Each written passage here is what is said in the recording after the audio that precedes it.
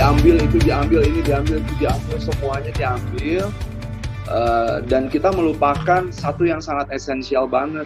Kalau kita ngambil kebanyakan apa yang esensialnya? Jangan-jangan kita berbicaranya bukan untuk audiens tapi kita bicaranya untuk kita. Supaya saya dinilai seperti apa gitu. Banyak ilmunya kah? Terus istilahnya banyak terus memberikannya banyak. Tapi intinya tidak mau berasumsi sih kalau saya lagi kena penyakit yang gatuk-gatuk-gatuk gitu, tapi tidak ada benang merahnya, saya lagi keluar dari rel yang sangat penting bahwa saya itu ngomongnya bukan untuk mereka. Saya ngomongnya supaya dinilai sayanya seperti apa. Dan itu nggak boleh banget tuh kalau udah jadi uh, trainer, terus punya concern supaya penilaiannya ke aku, bukan kepada audiens kita. Gitu Bro Rama, pokoknya harus mentoring lagi kalau dengar dari feedback ini. wow, ini lihat Kang Usman Effendi langsung bilang nih, lumayan nih weekend sprint lagi. Asik. gitu brother, ini esensial banget apalagi kalau ini akan dibawakan uh, ke yang kata Babe segmennya teman-teman di PNM gitu, teman-teman pengusaha kecil. Pengusaha kecil itu butuh yang sederhana banget, butuh yang ya, ya. bisa langsung digiles gitu ya langsung digiling langsung dikunyah gitu dan kerasa efeknya. Ya, jangan ya. main di konsep dan konsepnya malah ngeblurkan apa yang seharusnya saya punya nih untuk membuat tim saya jadi makin jitu gitu. Oke oke gitu. oke kang. Kalau intinya main, itu intinya mas Rama ya ya baik. kita kelihatan bodoh tapi audien memperoleh manfaat. Daripada kita kelihatan pinter tapi audien bingung sekarat gitu. Ya ya. Uh, jadi artinya apa Artinya uh, tadi yang menambahkan yang Kang Hari sampaikan tadi, boleh jadi istilah-istilah yang disampaikan, boleh jadi tadi cuplikan-cuplikan sana sini itu memuaskan ego kita, memuaskan kehausan intelektual kita. Tapi kalau itu tidak uh, nyampe kepada audiens, sesungguhnya kita itu uh, bukan pemberdaya kan? Ya, ya. Makanya itu yang perlu ditanamkan di diri kita semua, bukan hanya Mas Rama, ya. Karena kadang-kadang kan kita itu uh, malu kalau kelihatan apa ya nggak cerdas mungkin ya uh, karena menampilkan sesuatu yang sederhana. Tapi kalau kemudian kita uh, selalu ingat bahwa oke okay, pokoknya fokusnya audien, fokusnya audien, fokusnya audien gitu ya. ya, uh, ya. Itu uh, nggak apa-apa terlihat sederhana. Yang penting kemudian mereka bisa menerima, uh, kemudian bisa uh, mengaplikasikan dan kemudian berdampak buat mereka gitu. Oke oke. Ya B, makasih banget B. Mantul. Mantul. Oke, dari saya itu sudah selesai pijitnya. Aku nambahin satu ya, boleh nggak? Aduh, boleh boleh boleh banget. Boleh uh, banget semuanya boleh nambahin. Mas Rama, uh, aku ingat pas yang kita yang sama uh, pembicara terakhir itu siapa ya? Aku lupa. Itu dikasih tahu kalau untuk yang training online itu engagement sama audiens itu penting banget. Uh, jangan kita ngomong terus gitu. Karena fokusnya audiens, apalagi pas mereka di rumah aja, kita nggak tahu tuh mereka beneran lagi denger nggak omongan kita atau enggak gitu. Uh, itu sebabnya udah ada surveinya kalau nggak salah. Uh, setiap 10 menit uh, paling nggak kita engage. Kalau uh, Mas Indra sih nyaranin 20 menit. Kalau uh, di kalau menurut survei Pak siapa? Pak Hari, soalnya dua-dua hari sih tuh. Bukan Hari Firmansyah sih waktu itu yang ngomong, tapi hari yang lainnya. Pak Hari Subagia. Kayak gitu. Hari jadi, oh Hari Sebagia. Uh, jadi, mm, jadi maybe uh, kita setiap uh, 10 menit ingetin diri kita buat tanya ke audiens. Oke, okay, uh, sampai di sini ada yang mau komen? Uh, gimana? Mungkin ada yang uh, saya boleh tahu responnya itu aja itu udah si audiens sudah ngeh eh yang yang tadi ya dia mungkin lagi apa uh, ngemil dia langsung gelagepan langsung ngasih jempol kayak pakai apa gitu itu udah udah uh, udah alhamdulillah banget sih. Gitu sih. Udah itu aja. Thank you, Mas Sisi. Makasih Ibu Sisi. Sami-sami. Ya, ya. Oke, okay, mangga yang lain feedbacknya ini catatan panjang. Saya kan, anu Mas Rama. Ya. Saya nggak ada ngasih masukan sih, saya saya mengucapkan terima kasih. Karena kalau saya menyampaikan pasti akan dapat masukan yang sama seperti Kang Rama sekarang.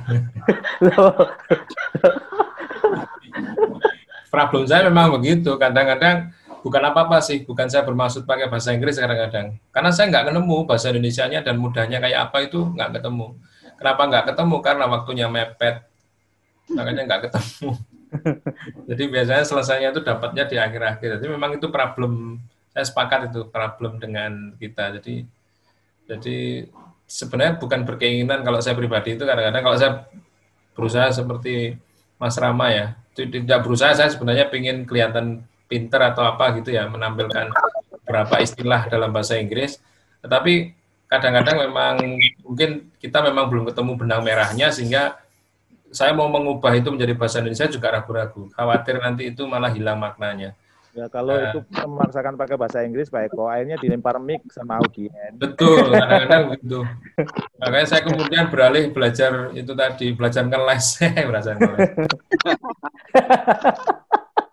belajar sama Om Panji dong, Dok.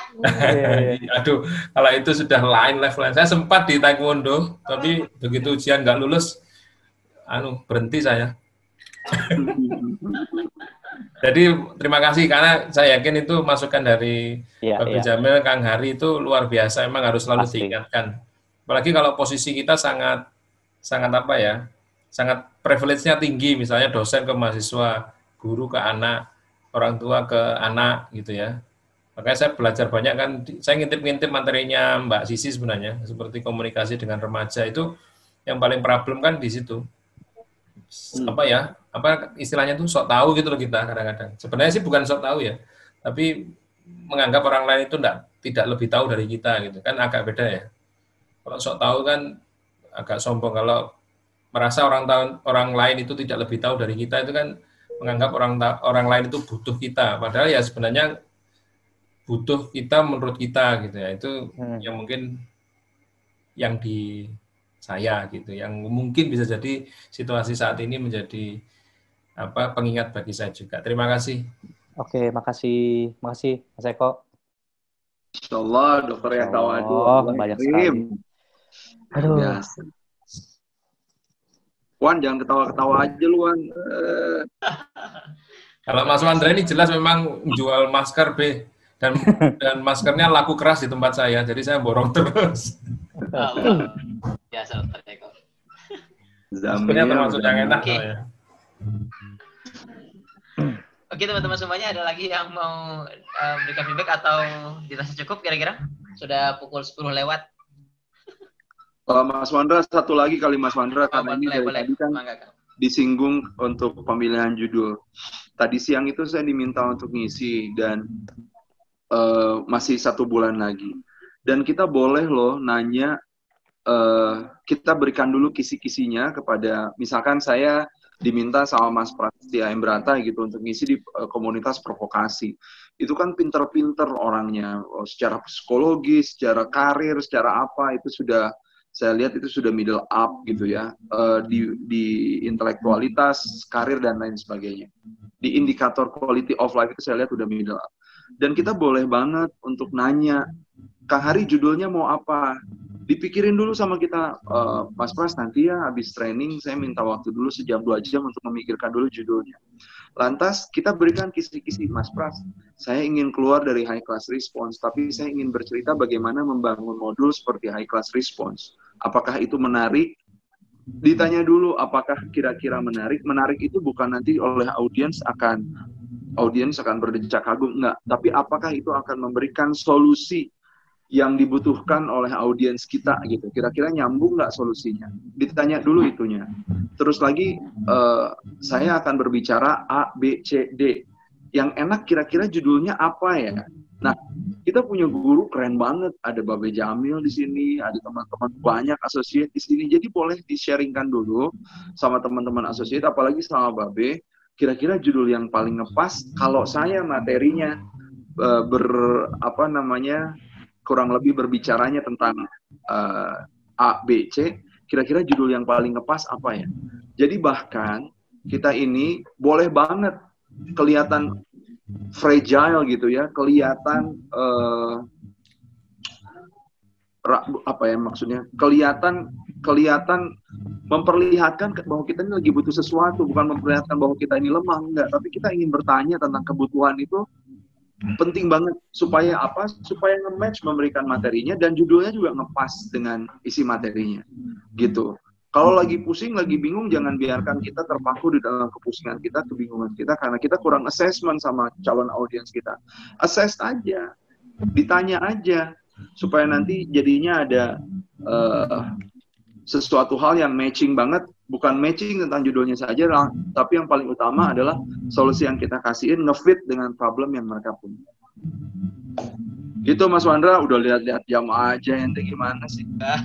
Kan lagi bayangin kalau lagi bayangin kalau saya mau dipijit dulu materi. mau dipijit. Asik. Ya ya ya ya ya masya allah feedbacknya luar biasa nih. Luar biasa. Mantap mantap. Mantap daging ilmunya hari ini. Masya Allah. dari Kang Hari tadi. Tadi pagi saya diskusi apa dengan pimpinan Bapenas ya. Iya, iya, deh. Minta eposnya, Bapenas minta epos luar biasa ya. Uh, ngisi materi untuk menyemangati mereka ya. Terus mereka memberikan judul kepada saya dan kemudian uh, apa yang diharapkan setelah materi saya saya tanya kalau saya acara saya dianggap berhasil kalau apa materi Pak Jamil dianggap berhasil kalau ini ini ya kalau dianggap berhasil karena itu itu judul yang diberikan kepada saya kurang pas Gimana kalau kemudian kita diskusikan judulnya supaya nanti uh, undangannya kepada kepada timnya Bapak itu uh, itu lebih lebih mengena gitu. Dan mereka datang atas kebutuhan karena melihat judul yang menarik itu gitu. Uh, setelah kemudian kita diskusikan uh, akhirnya saya ketemu dengan judul saya gimana kalau judulnya ini? Nah ini benar pak. Ini yang nendang ini yang kami butuhkan. Oke okay, berarti judulnya itu ya. Sebab kalau judulnya yang diberikan Mantap. awal itu itu judul PNS ya. Uh, yang boleh jadi uh, apa nggak akan membuat orang lain untuk datang gitu. Jadi menurut saya uh, kalau kemudian kita diundang atau apa itu uh, judul bisa kita diskusikan judul bisa kemudian kita komunikasikan dan yang pas walaupun saya nggak tahu yang ngasih judul hari ini siapa gitu mungkin bisa dikomunikasikan juga dengan tepat gitu supaya kemudian audien tuh harapan hadirnya itu dapat ilmunya sesuai dengan harapan itu. Memberikan solusi buat uh, audien gitu. Bukan hanya sekedar oh aku diundang untuk uh, menyampaikan toh ini acaranya acara apa epos ya wis lah yang penting menyampaikan kan bukan begitu. Kita harus tetap memberikan yang terbaik yang terbaik mau epos mau berbayar mau acara sharing di antara kita prinsipnya kita bagaimana supaya ini bisa memberikan arti memberi makna memberi nilai buat orang yang mendengar. Itu kuncinya. Fokus kepada audien fokus pada audien fokus pada audien. Dan itu hmm. adalah itu melatih keikhlasan yang luar biasa kan? Uh, apa namanya? Kalau kemudian uh, ternyata jangan sampai gini, wah trenernya hebat gitu ya. Um, akhirnya mereka kalau berkembang, iyalah saya berkembang karena trenernya hebat. Kan itu secara tidak langsung membuat mereka tidak berdaya kan? Iya, iya. Dan kalau kemudian uh, gagal, iyalah gagal, wong trenernya juga gagal. Jadi nanti nyalahin kita, membuat orang itu uh, ngeblame gitu uh, apa namanya? Maka yang terbaik itu bagaimana peserta training itu orang-orang yang kita berdaya itu mereka berdaya itu memang kesadaran diri sendiri dan mereka juga bertanggung jawab kalau gagal tidak nyalain coachnya uh, tidak menyalahkan trainernya gitu. Memberdayakan orang itu begitu. Supaya kemudian orang yang kita berdayakan benar-benar berdaya dia menyadari keberdayaannya karena kemampuannya, karena resources yang dia miliki, bukan karena kehebatan trainernya, bukan karena kehebatan uh, coachnya. Kalau kayak gitu nanti dia lemah terus itu. Ya. Kan kalau kalau bisa orang-orang yang kita berdayakan jauh lebih hebat dibandingkan kita kan, sehingga dia tidak merasa saya hebat seperti ini karena coach saya, karena mentor saya. Dia hebat itu ya atas kesadaran karena saya resourcesnya punya, saya punya kemampuan ini dan kebetulan difasilitasi oleh guru-guru, difasilitasi oleh trainer yang uh, capable di bidangnya. Itu kira-kira. Ya. Mantap deh. Oke, Kang Hari lagi, silakan Kang Hari. Apaan sih? Kirain lagi. Kang Hari, lagi Kang Hari. iya ya. Antara Jamil Bener loh ya dikasih dikasih bahan bicara beneran. Teman-teman, uh, ya. dan saya yakin semua orang belajar pada malam hari ini. Belajar malam hari ini karena uh, feedback bergelimang feedback banget dan ini bergelimang feedback itu artinya apa? Ini beautiful banget, ini keren banget. Hmm. Untuk pembicara-pembicara selanjutnya jangan khawatir salah. Gak ada yang salah kita lihat. Jangan, aduh ini ternyata judul salah banget oke okay lah itu boleh diambil uh, kata salah. Tapi nggak ada yang salah karena pada akhirnya malam ini kita semua kan jadi belajar. So ya. please be genuine of you. Nanti ketika pas anda kembali tampil kita akan terima banget apa adanya itu. Dan kita akan saling nge-enrichment seperti malam hari ini. Uh, Mas Rama di enrichment sama feedback-feedback dari teman-teman semuanya. Jadi jangan takut untuk berbicara. Jangan khawatir untuk dinilai siapkan aja yang terbaik. Masalah feedback mah itu mah sarapan juara. Gituan. Udah, silent. Siap, nuhun Kang Hari. Mas Rama gimana? Cukup? Kira -kira Jadi Kang Hari, ada lagi yang mau disampaikan terakhir ya? terakhir lagi. Mas Hari saya minum pakai high performa nih. Tuh. Masya Allah, terima kasih Sultan. Mas Rama. Tanya beda gitu. Mas Rama, saya sih yes. hanya mengingatkan aja ya. Saya nggak tahu Mas Rama tadi menampilkan slide itu karena uh, waktunya yang singkat. Itu kan ada yang tadi bulat itu apa uh, mengenai apa sih? Uh, tidak siap ya, tidak siap sebaiknya disampaikan itu satu persatu. Yang bulat-bulat tadi. Oh, yang di awal-awal tadi ya, dinamika ah, perubahannya. Iya. Oh iya iya. Nah, ini iya, hanya iya. mengingatkan aja karena hmm. itu kita akhirnya dibaca semua Mas Rama e, bicaranya apa kita fokus kepada tulisan. mungkin tampilannya satu-satu ya. Iya, ini hanya iya, iya. mengingatkan aja iya, karena iya, iya. sebetulnya di feedback-feedback yang e, lalu sudah disampaikan. Iya, iya. Sehingga kita hanya fokus kepada apa yang ditampilkan. Iya, iya. Itu aja sih, Mas. Oke, oke, thank you, thank you. Sangat sangat berarti Kak. Terima kasih Aki. Penting banget Aki. Kan biar lebih sempurna. Mbak. Saya, saya sepakat, saya sepakat. Saya masih ingat tuh sampai sekarang masukannya Kang Adip ke saya tuh. Pak Eko, kalau mau apa Pak? Print view apa? Menampilkan slide ya. audiens itu tidak perlu tahu berapa jumlah slide sampean. Ya Mas Adip? Ya, betul. Persiapan itu penting sih. Jadi ketika kita pas nampilin slide tuh ya nggak nggak perlu ngeliatin scroll scrollnya itu cukup mengganggu satu. Kedua, kalau audiens ngeliatin, wih gila slide-nya 98 gitu kan. itu kapan itu, selesainya ya, gitu ya. Iya, audiens itu sudah merasa uh, apa namanya? Uh, terintimidasi duluan gitu. slide-nya. Dan hebatnya Mas Adib itu ngitung, Pak Eko ini sudah tiga kali saya lihat Pak Eko melakukan hal yang sama. Oke Mas, yang keempat saya rubah. Di Titani ya. Mengerikan. Bobo. Lagi enggak? Kenapa gue jadi moderator ya? Ya, cukup, cukup. Cukup. cukup. Gimana Mas Wandra? Ya. Kalau aku silakan siap-siap jualan buku ya guys. Oh iya. Buat background. Ya, guys. backgroundnya. Oh iya backgroundnya. Tunggu deh backgroundnya diganti biar kelihatan. Uh, bukunya sudah on progress. Jalan-jalan ke tempatnya teman-teman. Ini bukunya sudah ada. Kece banget. Jadi silakan mulai open PO yang belum open PO. Soalnya ternyata beberapa belum banyak yang open PO. Terima kasih. Kang Hari jadi berapa Kang Hari? Uh, ditutup besok. PO-nya ditutup. Oh, ditutupnya tanggal 21. Oke. Okay. Uh -uh. Jadi uh, apa sampai sekarang sih masih 70-an kali ya tapi oh, belum tujuh puluhan itu yang itu tapi belum ditagih belum ditagih penutupan masih tanggal 21 nah, nanti dihangatkan ya. dihangatkan lagi terima kasih Kang Hari Oke, terima kasih teman-teman semuanya. Uh, saya Wandra selaku host di malam hari ini undur diri juga. Mohon maaf jika ada hal-hal yang kurang berkenan. Demikian, assalamualaikum warahmatullahi wabarakatuh. Waalaikumsalam. Waalaikumsalam warahmatullahi wabarakatuh. Terima kasih semuanya. Terima kasih.